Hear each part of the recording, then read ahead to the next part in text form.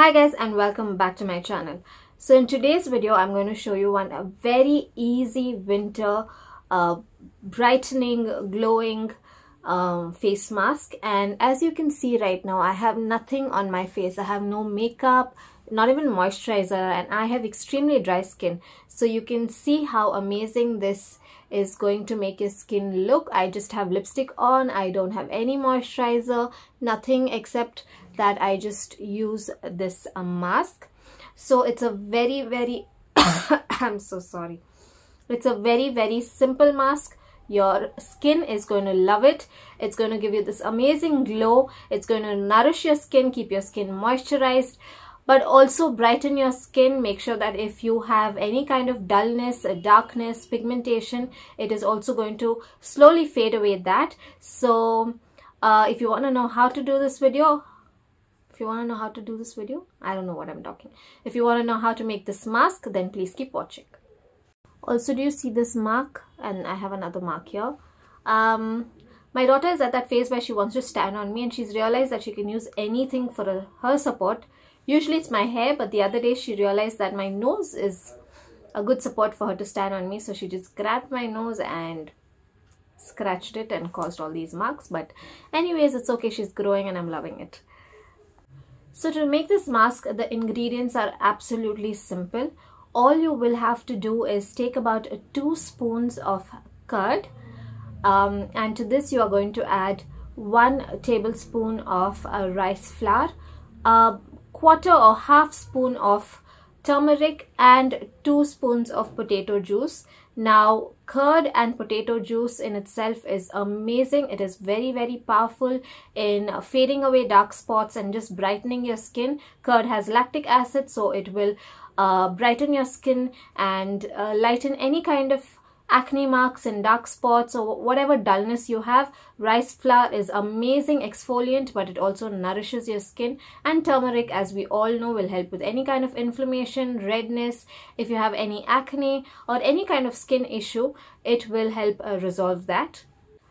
Now moving on to the application of this mask before applying this mask if you have any makeup make sure you remove it and then you are going to use um, nice hot towel. When i say hot make sure it is a little more than warm. I'm sorry azika is just playing. A little more than warm and you're going to just you know make sure to steam your face with it. You can of course if you have a steamer you can go and go ahead and steam your face. I just find that a little extra step so if you are feeling lazy just use a hot towel and keep it on your skin and let your skin just soak up all the steam really well do this for about a minute or two before going in with the mask, you are going to cleanse your face with 2 spoons of raw milk and 2 spoons of rose water. Mix it together, use a cotton pad and you are going to apply this all over your face and then let it dry.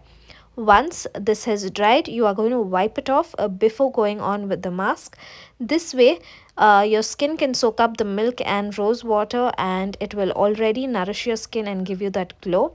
And this will just add to the mask and make it even more effective in helping your skin become bright and glowy. But make sure you let it dry and once it has dried, you are going to wipe it off very gently and then move on to the next step uh, which is the mask but please make sure that you do this step and don't miss this step because it is very important in making the mask even more effective and stronger and that way your results are better and effective now make sure to apply this mask generously all over your face. You can use it on your neck, you can use it on your ears, you can use it behind your neck, you can use it on your chest area. Wherever you want to use it, you can use it. You are going to apply this I'm so sorry. I have this um, throat irritation which is not going and that's why I'm going on cracking. But yeah, you're going to apply all of this and uh, you're going to leave it on. But you are not going to let it dry completely. Uh, do not let it dry completely. Just when you realize that it is maybe about 80 to 85% dry, you are going to dampen your hands with warm water again and scrub your face really well with this. Now the rice flour is extremely mild so you don't have to worry. Just go in and scrub your face for about two to three minutes. Scrub around your nose uh, wherever you have a lot of pigmentation darkness or you have a lot of dry skin flakiness um, where you want to remove uh, some dead skin you can just scrub it really well all around your face and then you can wipe off the mask or you can simply wash your face with warm water once you've uh, washed off your face or wiped off this mask, you will see a visible difference. Your skin will feel extremely smooth and soft but will be so brightened and you will have this radiant glow. And even if you wash it off it's not going to go away. The glow is there to stay. Um, the rice flour and the curd will really give you that very nice bright looking skin. And the potato juice juice the potato juice. I feel like after becoming a mother something's wrong with my brains half of the time. I keep forgetting things or i'm just blabbering stuff like this. Anyways uh, the potato juice and the turmeric is going to help nourish your skin and fight any kind of um, acne or inflammation that you have.